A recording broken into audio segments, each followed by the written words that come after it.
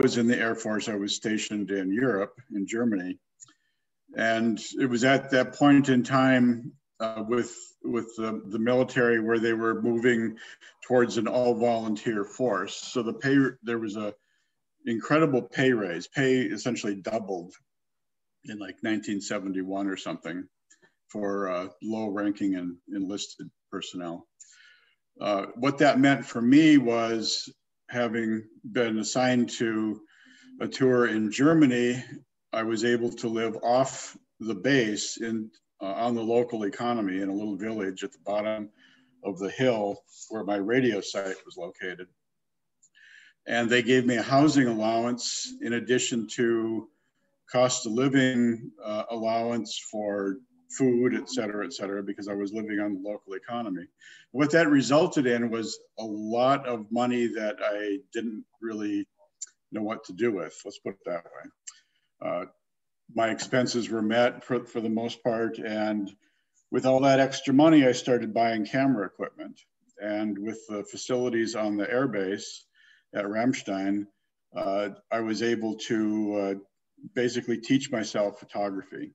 They had dark rooms. They had uh, uh, you know facilities for developing the film. There was uh, uh the uh, personnel there that would help you sort of through the process. So in my three-year tour there, I would you know became relatively proficient in just the basics of you know how, how, how the apparatus worked and the, the, the photochemical process, et cetera and then then coming back and going to art school um, you know that gave me an opportunity to sort of investigate a personal vision i think. Uh, and that's pretty much where it started. Um, during my time at the college of art and design i started working at the minneapolis institute of arts as a videographer. And my job there was to document uh, traveling exhibitions, uh, exhibitions that, that originated with the museum, uh, the installation. Um, we, we did a number of programs with the Conservation Lab, so I spent a year uh, dealing, documenting the process of restoring a Japanese uh, silk scroll, painting on silk, you know, in the, on the scroll. And there were lots of other projects like that. So I got a pretty good background in, uh, you know, in, in art history, both as a as an undergraduate student and working in the museum and researching those uh, those projects. Um, and then as far as photography goes, you know, that's just been a part of my daily routine since uh, you know the mid 1970s. I carry a camera with me wherever I go and I photograph the things around me that uh, either cause questions or um, potentially reveal answers. Let's put it that way. so um, so you're saying that it, during the process of taking pictures all the time, that's how you, is that how you develop your themes? Uh, yeah, yeah. It's it's a process of of just recording. The, you know, it's like a, it's journal keeping as as far as I'm concerned. I mean, I, often I I title the book projects that I'm working on as excerpts from my journals as I accumulate those images, I go through them. Uh, that was one of the things that I learned, uh, you know, with you know the number a number of workshops that I took with photographers is that it's very important to review your work constantly, the the material that you're generating. It's it's really important to just look at that again and again and again, and not not put away in a drawer and assume that the project is finished. But there's there are, there's always something in the material that you're generating or have generated that is pointing towards the future, I think. Um, so my normal process, let's say, is to just photograph throughout my day. There are things that catch my eye. Sometimes uh, I repeat the, you know, go back to the same place, photograph the same thing uh, over and over again. And uh, you know, then things start to sort of bubble to the surface. Let's say that, you know, uh, I, I, was, there was, there was a time, uh, you know, 10 years ago or so where I was working for the US Census Bureau, which necessitated a lot of driving on this route through uh, central New York. And I would pa pass the same locations every day. You know, it was like a 250 mile route that I had. And I started photographing these things, these places. And what occurred to me was that it was really a comment on the economy of rural America. There were closed businesses, there were houses that were, uh, you know, vacant and falling apart. Uh, you know, those kinds of things were consistent in this route that I was taking, which would take me through small villages and small cities and, and ended up in, in downtown Rochester every day. So that, that was an interesting observation, I think. And sort of from that, researching those various areas, I started seeing um, uh, pollution sites. Uh, the, uh, the Department of Environmental Conservation has a catalog of all uh, Superfund and brownfield pollution sites in the state. And then I started going specifically to those places to photograph those sites and their current uh, situation, you know, the, their, their current uh, condition. And there were some interesting things that came up from that. Uh, that work was exhibited at uh, Monroe Community College a few years ago and uh, resulted in one of my book projects. Uh, I think the title was Vistas, which that that term comes from uh, ph photo history or, or even prior to photography. You, basically, people would go on a, a, vacation, a tour, tour the continent. You know, if you're if you happen to be in Europe, and they would collect vistas you know, scenes, uh, you know, these uh, idyllic landscapes, let's say.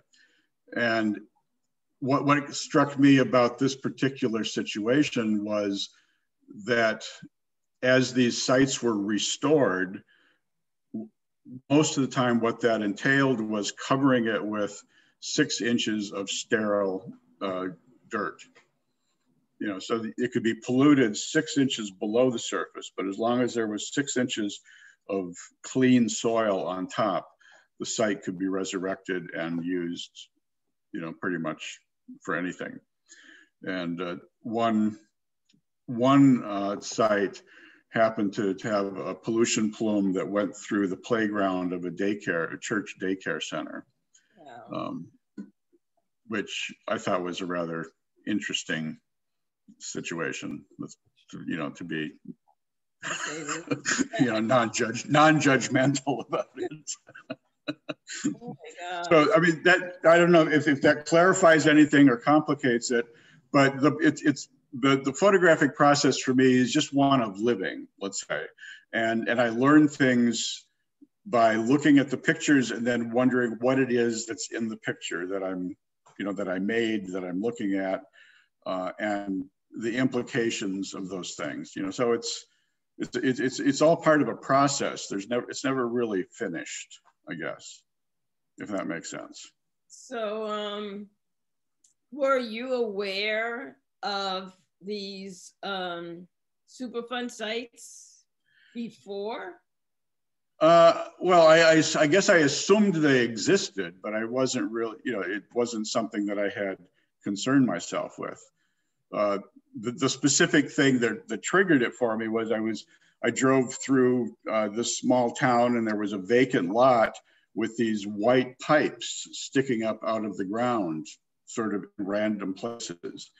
And I found that those are actually monitoring wells where they can drop sensors down and monitor the level of pollution in the ground at the site and, and then determine like whether it's you know, stable or dissipating. If it's dissipating, they tend to want to know where it's going. So then they'll put other monitoring wells on the periphery to see which direction the pollution is actually flowing through the ground. So mm. that, that's what sparked the the specific, you know, investigation into the Superfund and, and brownfield sites. Yeah. Like, what so, is what is this? You know. Yeah. So I looked at uh, a number of your your books, and I um you know like I sort of think that sort of these vacant areas look always as an image look really interesting to me. Like when I drive by some village or town and wonder, you know, how it got to be that way, you know, um, where did everybody go, you know. and uh, so, I mean, those are the kind of questions that come up to me when I look at those those kind of images and the des- you know, to be in what I mean, we have an idea that the rural uh, rural areas are charming and pretty and attractive, and when in fact there's so many that are quite the opposite, right? And um, yeah, I mean, and it's part of history, the Industrial Revolution. Um, be- before there was natural gas, they made gas out of coal they would burn the coal and collect the fumes and then that was the gas that was piped into everybody's houses to light the lamps and mm-hmm. and such and there's an incredible amount of pollution at those former coal gas sites hmm. um, there was one up on the canal uh, in uh, albion i think it was another one down in dansville um, and then the other another thing that is pretty consistent that i found is uh, uh dry cleaning operation. The chemicals used in dry cleaning are incredibly toxic. And it was very common practice, you know, back back in the day to just at the end of the shift, dump it out the back door and, you know, it goes, you know, either, you know, goes into the creek or the river or soaks into the ground. And as long as you don't see it, it's gone and nobody really thinks about it. Right you know, after 70, 80, 90, 100 years of this, uh, you know, it doesn't just disappear. It's, you know, it's, it's in the ground. And a lot of those vacant lots are vacant because they can't build on them because they can't go past that six inch mark.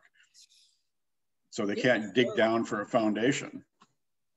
So your photographs are not only, you know, you know, they serve uh, several functions, you know, in it, you know, by being, they sort of document the areas you photograph, but, and they also have a, their own narrative that's, you know, separate from the sort of journalistic aspect of it to sort of like, I would say, sort of a, rom- romantic narrative, right? Right. Like of longing and missing, you know, and and then in photographs that you take where there are, you know, people engaging in social activities, that's another um, aspect of it where there's, you know, engendering, you know, relationships and um, that is quite the opposite. I mean, like the opposite right. end of this, uh, you know, photographing these vacant towns and Superfund sites. So, uh, but and those sites used to be like, you know, used to engender yeah. family and friends and relationships. It's super right. Very interesting. Yeah, well, it, it, it, it's it's all part of that mix of just daily experiences, I think, and then going back through the material and pulling out specifics that sort of come together on their own. Um, so in some of the, the book projects, they're, they're actually pretty random because that's the, and you, I don't know if you noticed or not, but everything is chronological mm-hmm. in those books. Uh, so it's, I, I, I do that because I'm not trying to I'm not trying to build build a narrative out of bits and pieces. I'm trying to just show the the narrative that that exists naturally. And then and because it's so random, you can then sort of filter out sections and put them someplace else. I can filter out those those those uh, you know sort of uh, the, the, COVID mask things that, you know, that some of those are in the exhibition. Um, as I was just photographing over the last year, this, you know, everyone has got this thing over their face. And it just struck me as being odd, sometimes humorous, uh, you know, depending upon the, the decoration of, of the mask. They went from very plain, you know, pieces of cloth or surgical masks, those blue masks, to everyone, you know, you can buy them online. You know, you go to Pin, Pinterest or whatever, and you can have a selection of of, of masks. Uh, uh, uh, Nancy Pelosi has coordinated masks with her outfits daily. You know, um, I'm sure they're, you know, I, I, whatever. I don't know. well, I don't. I keep thinking, you know, I mean, not before last year, you would see somebody with a mask, you would be suspicious, right? And now, right. most people, if you see someone without a mask, you're suspicious, you know, and you don't want to be near them any more than you would have previously under other circumstances. So, right. Yeah, I totally. Yeah, it's it's it's it's it's been a, a rather interesting year, um, for sure. I mean, uh, just trying to figure out what is normal, I think. And uh, like the last two images in in that series uh, that I that I had been working on this past year, that uh, at the edge of the hurricane series, uh, one is one is of a, a, a sign in a store window that says we're closed and the and the and the next one is a sign in another store window actually just two doors down that says coming soon. You know they're opening a new bakery.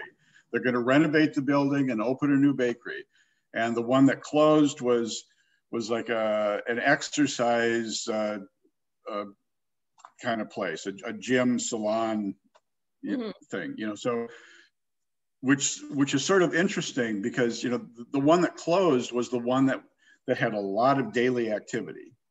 You know, the, that gym, they, they had a, they had a, it, it was a combination of a gym and a, a like a, a, a, a beauty salon.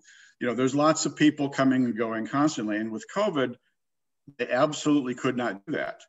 Right. It was, it was, you know, cold, you know, cold turkey, dead, clo- you know, closed up and they couldn't, they, they couldn't last long enough to bring it back when things started to open up.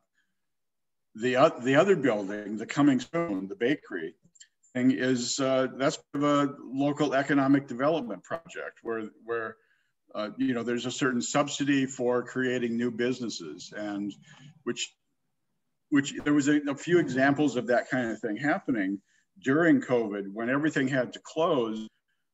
The healthy businesses were using that time to regenerate and you know remodel and you know, grow, you know, sort of grow their infrastructure uh, while they didn't have to deal with or, or couldn't deal with consumers. And then when it was time to reopen, they opened up much stronger and with which much more activity. Right. And and that contradiction is something that I hope you can sort of get out of that pairing of images. Right. You know, so yeah, it's so it's like as much as many problems as it caused. Right. Were also you know uh interesting new kinds of opportunities you know? Right right. To um interact with people. I mean like zoom is like off the rails you know, you know and all the other methods. And so there's it's really have i guess we all have to be aware that yeah this is a terrible situation but then how do we make the best of it? Opens up opportunities or right yeah. possibilities rather you know? Right. So yeah it's yeah every, it all it all goes on you know it, it continues you know it's it's different. There is there is no normal. There is just what is i guess you know. Yeah normal changes all the time. So you know i wanted to ask about the the um I guess what's not clear in the PowerPoint is the large scale photographs, uh, portraits, which we can um, take a look at. Um, I didn't mean that, I didn't mean that either, I meant this. Before we get to that, um, it's like Schuyler and Boys, they're eight, uh, nine feet, eight feet by nine feet this is, you know, it's in this way, present in this presentation, you can't tell that, but um, right.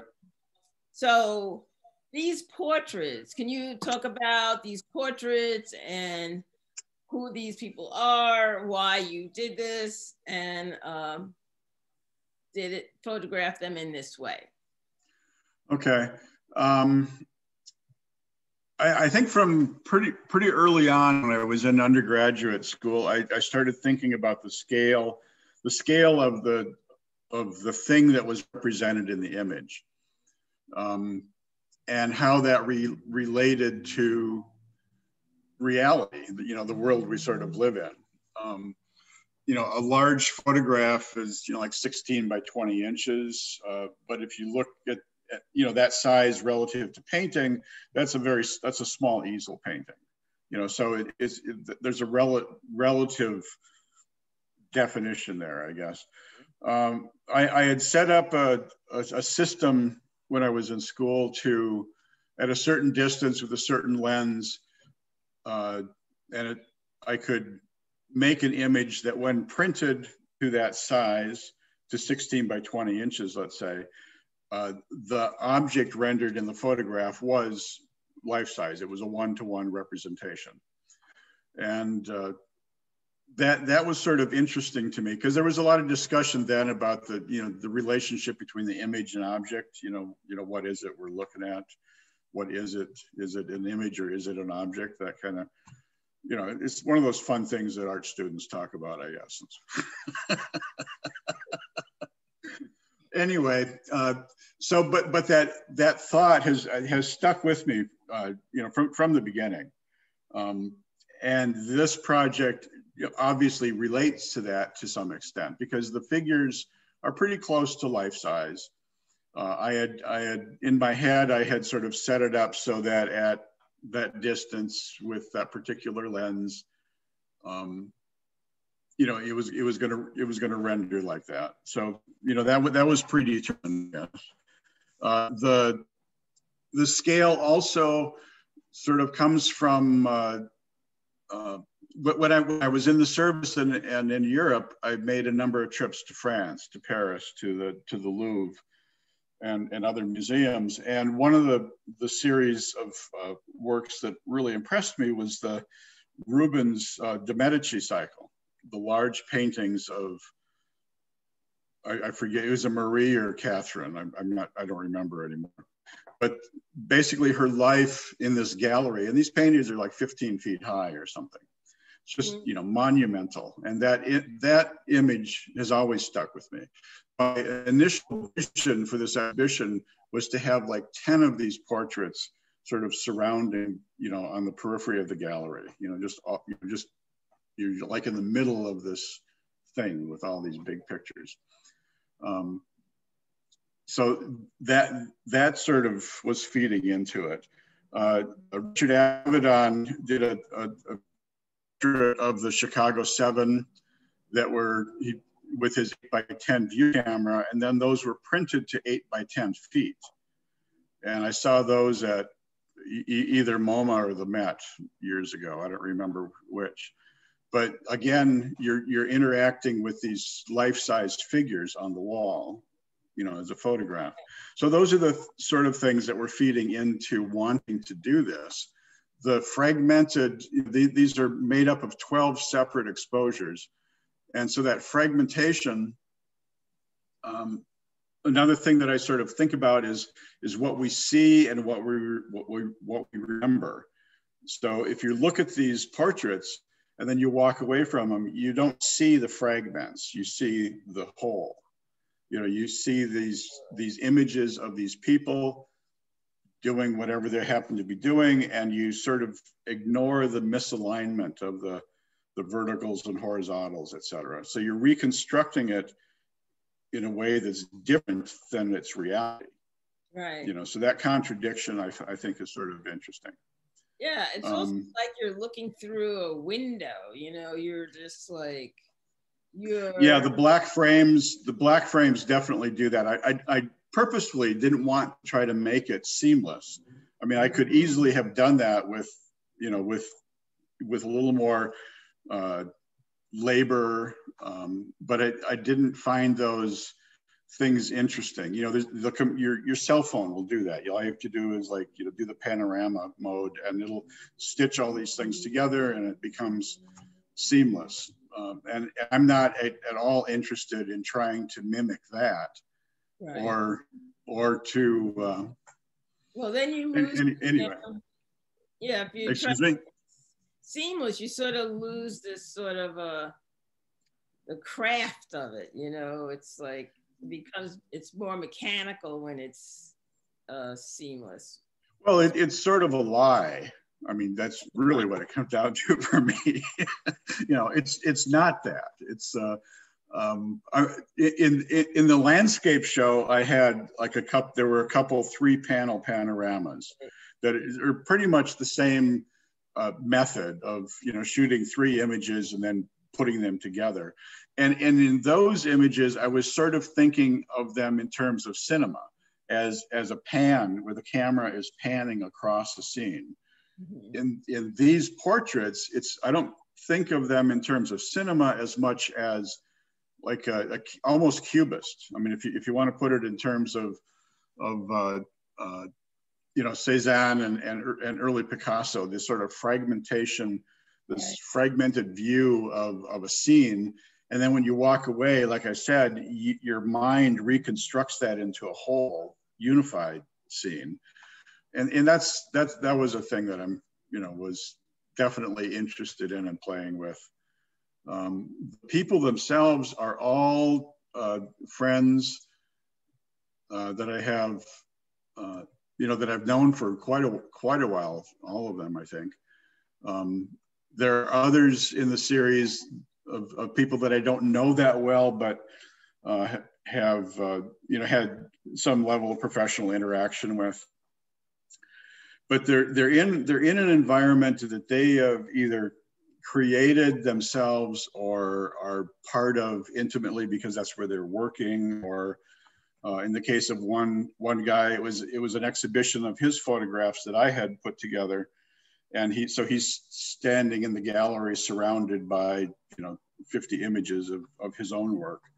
Mm-hmm. um, uh, you know so so there's a relationship between the subject and the environment uh, the latter two uh, from this series the one of nicole that you have up right now and then uh, jackie those were like post covid after the lockdown and they they are both behind glass. They're in windows storefront windows.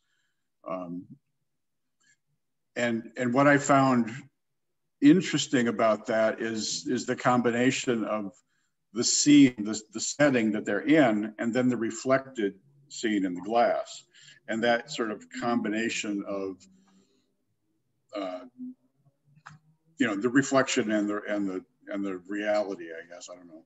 Yeah. So you have. Um, I mean, the portrait itself is like you know actual, and the environment with the reflections on the glass is sort of an illusion, you know. Um, uh, Excuse me. It uh, sort of imparts some sort of, you know, mysticism or you know, eerie. Yeah, it's it's the yeah. There there's a there you know it's a screen between between the photographer or the viewer and the subject for sure. It's uh, and then you have the the additional images like the, in nicole you can see the building across the street you can see the, the clouds and then if you're sort of looking through that you can see the furniture and stuff she, she manages this furniture store uh, you know so so you can see all of the things in the in the store itself but they're almost uh, almost obscured or they are obscured in certain in certain places and then the architectural elements of the, the window frames. Um, th there's just a lot of ambiguity there that that is pretty interesting. I think it's interesting on a sort of a formal uh, painterly level. Let's. I, I, think that's probably the the easiest uh, way to describe it. It, it it's yeah, it's not photographic. It's more it's something else. Something else.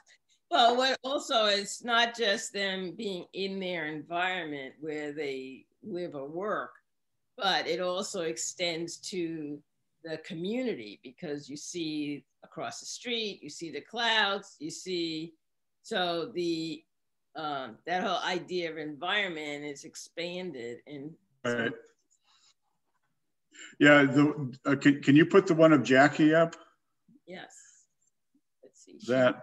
Uh, there she is. Yeah. Yeah. Now th this this was like another sort of uh, step away. Uh, th this this person is is very short. She's like under five feet tall, um, and I I changed lenses, uh, you know, because I, I wanted uh, I wanted basically I just wanted to see what it was going to do, uh, to to get in closer and to to make a larger uh, a larger enlargement, let's say, of, of the of the figure.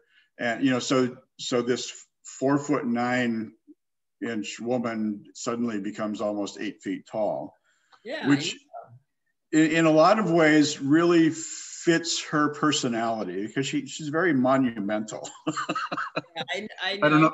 Yes. Yeah. Um, and and again the the combination of the reflection and looking through the glass uh, uh, I, I think I think is is a pretty it's another it's a very interesting image for me.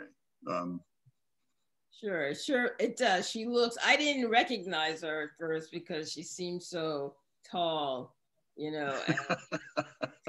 Because I yeah, so it really changes the way you re react to her, respond to the photograph because if you do have encountered her Eh, but as you say, she has enormous energy and and will and uh, runs this incredible, you know, the um, Livingston County, no, Wyoming County Arts. Wyoming, yeah. Yeah, and does yeah. an amazing job of it too. So, yeah. No, this is a beautiful photograph. And also, it does similarly, you know, you see the cars and the buildings and the sky and so it's like quite, you know, this person in an expansive um, environment, you know. It's really, really great idea there. Great way, uh, makes, um, does a lot of different things, these photographs. It's just uh, exceptional. Thank you. So let us get to your artist statement because how much I like, I love it, right? So I'm just gonna take us over to because I, I put I had to break it into three to fit on a okay. slide and be still be uh, legible.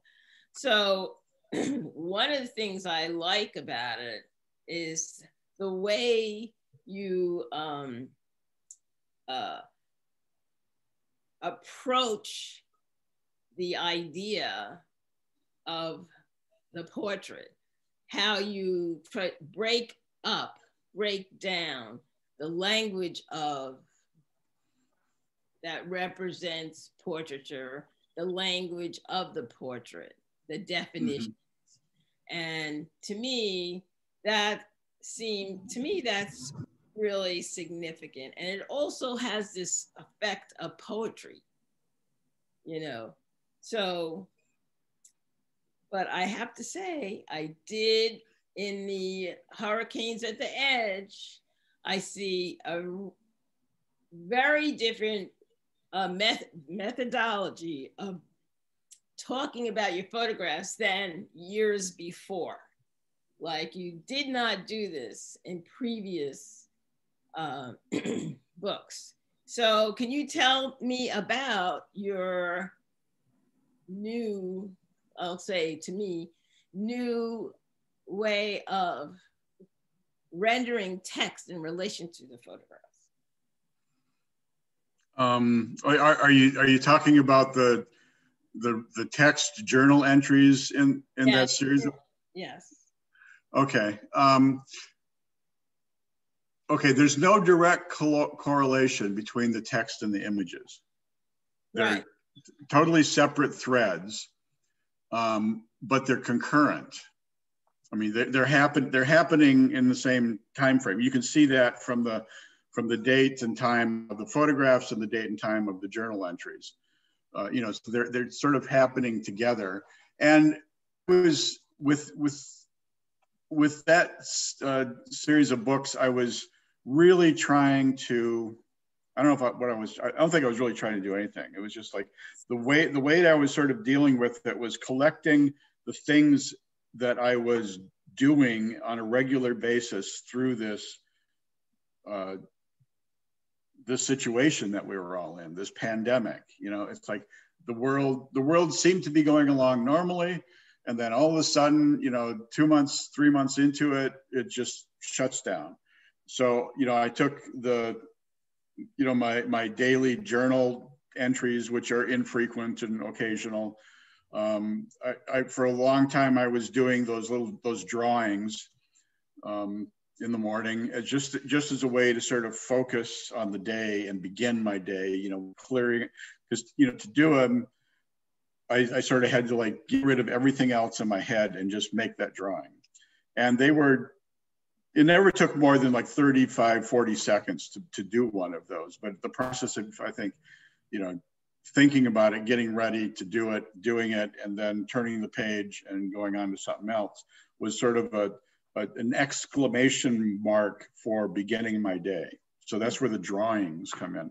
The, the text entries are at random times, often late at night uh, when I'm trying to figure out what the hell happened today. um, and then the photographs are, you know, just constant things going on. So to put those three things together in some sort of continuum was, uh, you know, my my point of departure, and it was it was sort of, uh, it was I didn't I didn't plan to do this. Uh, what I, th I think I referenced in, in the the first block of text in, in the first book that it was really just it. I started this as like an experiment with with uh, a camera and a lens combination and you know trying to go back to black and white um, because I had I had normally my, my uh, analog photography has all been for the most part black and white tri-X you know process in the darkroom. And I was trying to mimic that to a certain extent with a digital camera.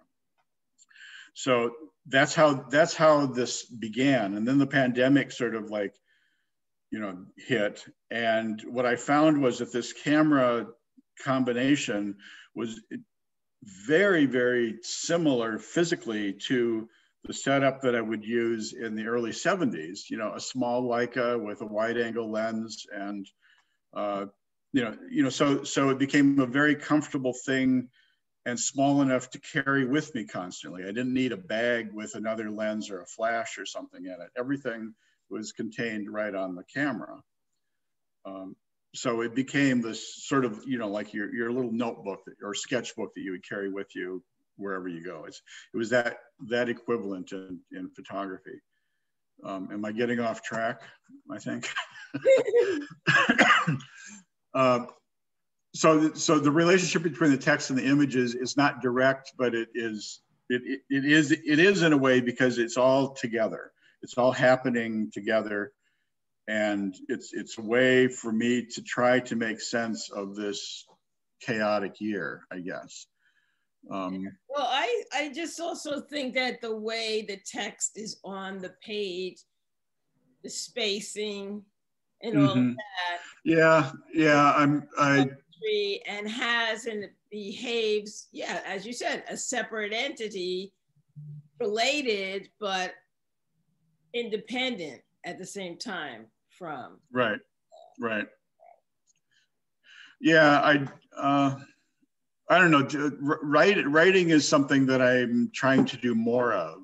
Um, most of what I'm reading is is uh, is poetry as opposed to prose, um, or very poetic prose or something. Um, so, so I mean that, and that's feeding into what it is I write and how I write. I think um, I'm, you know, I've in the past couple years I've read a lot of Bukowski and uh, Hunter Thompson, and you know, it's like the crazy people, those crazy guys, you know, um, which it's, it's there. I find them really interesting. I when when I was in college, I drove taxi, you know, in Minneapolis. And at the end of the shift, I would meet my mom and dad at this little bar because they both worked in places close to this little bar. So all of those guys sitting up and down that bar at between you know 4:30 and 8:30 every night could easily have been Bukowski. it's like I knew I knew him as soon as I picked up his books. I said I know this guy. well, so. I I just find you know the way your your definitions and working out the idea and what those concerns are about portraiture and rendering, and which also relates to your personal self-portraits in the uh, um, Edge of the Hurricane, which I find the combination of the drawing and the text and the photograph to be really, um, really quite wonderful. And uh, as different as they all are, and they each make one responds to each on its own and as a whole. So it's uh, um, I think an interesting way to that bringing in the the process of preparing to mm-hmm. is is important because you know that gets lost to uh, for everyone else. You know, like for you, it's there, it's personal, you do it. But in the in your the final result of the work, it's not present. So people like most right. artists like jump out of you know yeah. jump out of bed and run in the studio, but it's right. not. Yeah, yeah. The uh, yeah, it, it's it's a it's a constant process and it's constantly referencing you know like like i said early on it's like you know one, one of the things I, I, I learned from you know from other photographers that i've uh, studied with is it's is the importance of going back and looking at what you did previously because that's going to that's going to foreshadow uh, foretell what you're going to do in the future, you know, in, in, a lot of cases. And in some cases, uh, you know, I mean, you, you can see those threads. If you, if you look at, uh, you know, it, it, it's just it's just part of the process, I guess. And in in this this artist statement uh, thing that I, I I gave you, it was. Um, I like I like to know, um, you know, the, the, the history of the word and what it what it meant and what it mean you know there's like hidden meanings in what it used to mean right you know it's like the implications uh, of, of what it is we're talking about is in the you know the history of the words that we use and um, i think it's important to sort of build a foundation that that you can you know move move move away from or come from or, or whatever. You have to, it has to be grounded in something. And to look at, you know, the relationships of, you know, uh, English and French and German and Italian and, and you know, et cetera, and, and how those roots, the roots of those words inter, interacted and interact still um, define how we think about what it is we're doing. Right. Whether we know it or not, I guess. Right. So. Well, and we, you know, we lose connection to the the words. Language is also right. always right. changing, right, and evolving, and so we lose we lose connection to the source. You know, right. so, and it is, you know, especially when you have a specific project or goal in mind and you want to really get your get a handle on what does this mean you know mm-hmm. and I, I agree that's a excellent way of you know building that foundation yes because yeah it, it, it's i think it, it for me it sort of like slows me down and makes me consider yeah. I think, I think those are two two things that are pretty important is to slow down and consider what you're doing and consider the the implication and the the genesis of the idea somehow you know like how how you know where, where is this coming from and where is it going? So.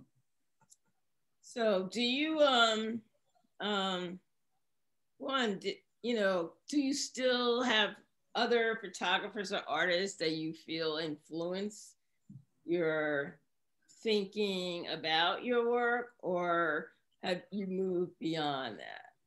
It sounds like um, is more filling that role now. It's uh, uh, my bookshelf is, you know, got a lot of books up there, and I keep buying them. So there must be some reason for that. um, uh, I, I, I don't think I would say that at this point in time, I am I am uh, functioning as a student of any anybody. I don't think. I don't know if that sounds egotistical or not, but I, I think I think at a point you become comfortable with what you do, and uh, I, and also I think it's important to acknowledge that whatever I do or anybody else does is really not that unique or new. It's a, it might be a combination of things that we haven't seen that much of in the past, but everything is, I, I firmly believe that everything's been done. And it's just a way of, you know, we gotta, I have to entertain myself on a daily basis. so I, I, I could, I could pick up any, any of my photographs and I could probably reference, you know, eight to 10 photographers that it reminds me of you know i mean that's that that's my reality. Yeah, uh, well, and I, I have no problem admitting that. I mean we all uh there is so many people out there. It's been many many hundreds of years you know and like we look and we look and yeah the real trick is finding your own way to say yeah. same you know is all we have is what we have right yeah.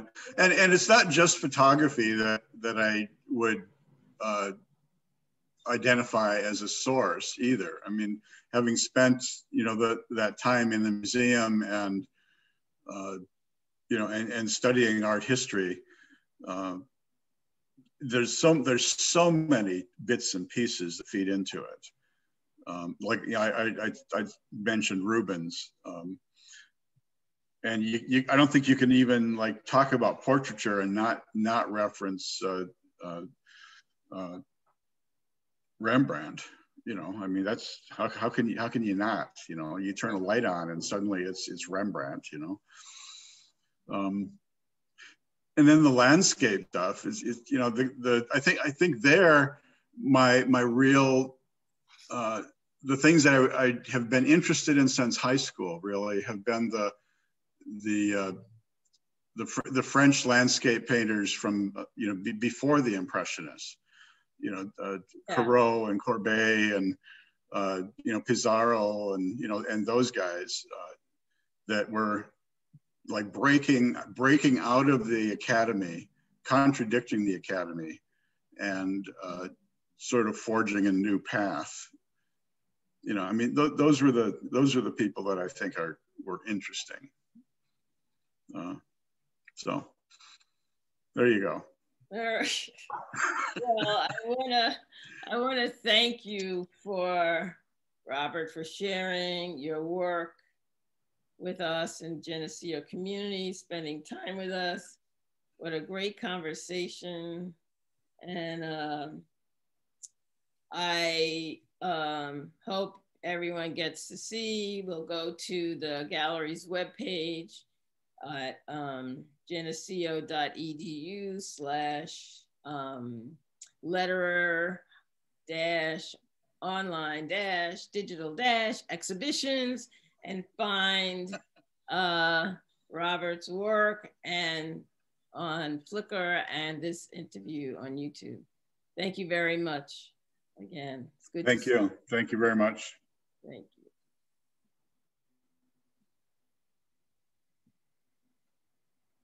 There we go. Okay. Did it record? Yes. if it doesn't, I'm not telling you. I, I was I realized I was so intent on having it ready for four o'clock yesterday that I completely I didn't see the I looked at Wednesday and I didn't see the Zoom link and I thought, oh my God, I didn't do it. And, and yeah, I remember when you you told me you had a meeting and I was like, Cynthia, just because I wanted it, I wanted it that badly. I've got everything else. Well, as my husband would say, that's that's you, that's me. All right. Well, um, you have a what is this Thursday? Have a nice weekend. Yeah, I think so. I'll I'll contact you next week.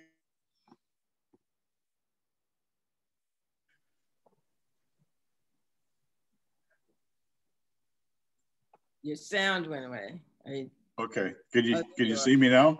Yeah, I can see you. I didn't hear you. Okay, I, I, said I'll contact you next week about coming in and documenting the exhibit. Okay, all right. So I was told that so when you, I'm gonna fill out the form for you, but I'm also okay. gonna give you five bucks because if I pay you, you're a vendor. And you love it, right? You love that. Right? Uh, all right cool whatever whatever. Does this have to does the check come from albany? No it's gonna be cash. All right. Right? Whatever whatever works will be fine. Right. okay. All right you have a good weekend too cynthia. Thank you very much. Okay bye